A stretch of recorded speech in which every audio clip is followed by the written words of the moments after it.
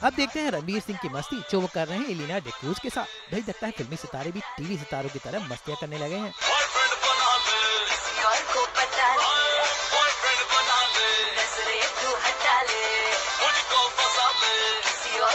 और ऐसे ही कुछ सारा खान भी कर रही हैं वरुण धवन के साथ।